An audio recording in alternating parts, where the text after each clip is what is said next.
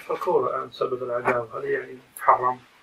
الكورة إذا كانت على أنظمة الكفار كما موجود يلعب فريقان وفي أنظمة الكفار وحكم وتطبق الأنظمة فاول وكورنر وبلنتي وامثال هذه الأشياء. وفيها كسر للأقدام وتعصب وحماس ولعب وشتم ونحو ذلك. كما هو من طبيعتها لا أحد ينازع ربما في منعها. وهذه أصلا لعبة موضعة لصد الناس عن دينهم وعن مهمتهم وإلهائهم وغفلتهم أما ما يجعل في الأندية هذا لا ينازع فيه ربما مسلم. استقطب كفرة بالملايين. مدرب يأخذ شهريا أكثر من مليون دولار. يأخذ هذه الأموال اموال المسلمين في سبيل الشيطان. واي مصلحة لنا في كورة. جلد منفوخ يطاردونه أي مصلحة لنا في ذلك؟ فيأخذ الملايين ثم بعد ذلك يحارب بها المسلمين. ثم اي مصلحة لنا يجلب بعض ميزانيه الأندية 500 مليون سنويا. وبعض الانديه تبلغ مليارا سنويا. في في فين المصلحة من ذلك؟ هذه المليارات لو توضع في نصرة هذا الدين ربما لا اهتدى أكثر الخلق. وهذه صدة الخلق الولا والبراء ضاع عند هؤلاء. الحب والبغض هذه الكورة. الأوقات تضيع أعظم ما عني بالإنسان وقته. يجي شاهد الجلد المنفوخ ساعة ونصفا. هذه إذا ما امتدت المباراة إلى أشواط إضافية وغير ذلك. يستمع وينظر إليها سواء في الملعب أو عبر الشاشات.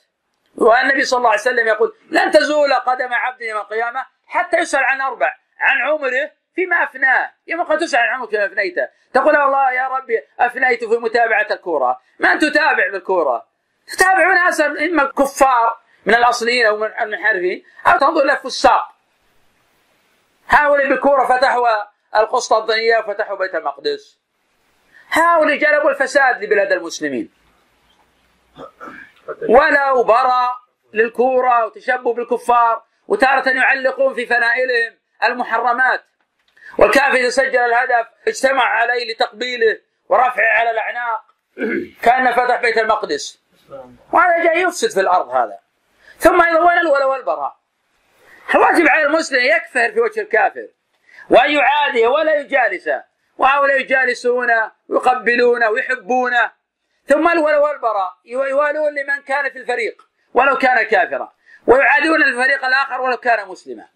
أما الجمهور هؤلاء فهؤلاء يصفقون لفريقهم ويعادون الفريق الآخر ويلعنونهم ويشتمونهم وقد يتضاربون. كثير من الأندية توقع قتلى خاصة إذا كانت الأندية من الأندية المتناسفة في بلد واحد. توقع قتلى بسبب ذلك. وهذا لو لم تكن فيها هذه المحرمات وتورث هذه العداوة لكانت ممنوعة. فكيف هو في ذاتها من المحرمات ما الله به عليم؟ فيها من الشيء الكثير ومن الصد عن سبيل الله. ثم في الحديث الآخر وعن ماله من أن يكتسب فيما أنفقه هذا ينفق في سبيل الشيطان. للنظر لهؤلاء الفساق والمنحرفين والضالين. الذين يطبقون أنظمة الكفار. ثم أيضا في الكورة حكم بغير ما أنزل الله. ثم في الكورة حكم بغير ما أنزل الله. والله يقول من لم يحكم ما أنزل الله فأولئك هم الكافرون. اللاعب حين يتزحلق على اللاعب ويقصد الإضرار به ليعوق عن اللعب كي يكون اللاعب بارزا ولا يستطيع أن يقافز بالطرق النظامية الموجودة بينهم. يتقصد أحد اللاعبين لإعاقة بكسر قدمه بالتزحلق عليه. وهذا كنوع عن حاكم الشريعة. قال الله جل وعلا وكتبنا عليهم فيها أن النفس بالنفس. إلى آخر الآية. فهذا يتزحلق يحاكم إلى ما يسمى برعاية الشباب وهي رعاية الإفساد. هي حكم وما عند الحكم إلا يصدر له كرتا أحمر. هذا هذا أقصى ما عنده. وما عند ذلك يضع لجنة تسمى لجنة انضباط يوقف اللاعب هذا أكبر ما عنده. طيب إذا أراد حقه كناحية شرعية ومست من يقول يعلل يبرر لهم يقول هو دخل اللعبة ويعلم أنه وضع اللعبة هكذا. هذا وأنا غير صحيح أنه وضع اللعبة هكذا. ليس هكذا وضع اللعبة. هذا من مصارعة أو ملاكمة أو كما يوجد مصارعة الثيران. هذا ما هو أصلا ليس من شأن اللعبة أن تتزحلق وتكسر قدمه وليس من طبيعتها. ثم أيضا لو كان من طبيعة اللعبة هكذا مع إنه ليس من طبيعتها كذاب اللي يقول هذا. ليس من طبيعة لكن لو كان من طبيعة اللعبة ليس من حق الإنسان أن يسقط أو يمنح الناس كسر قدمه. أنت مؤتمن على نفسك. أنت مؤتمن على نفسك. هو واجب عليك أن تحافظ على بدنك. وليس من حق الإنسان أن يقول اكسروا قدمي. أو يدخل مصارعة لكسر الأنف أو لذهاب البدن. حتى المصارعات هذه اللي فيها ضرب ما ضرب وملاكمات فيها قد تؤذي بحياة الرجل من الذي أجازها؟ هذا واضح تحريمه واضح جدا لي. الله جل وعلا يقول لا تلقوا بأيديكم إلى التهلكة. وهذه هي التهلكة.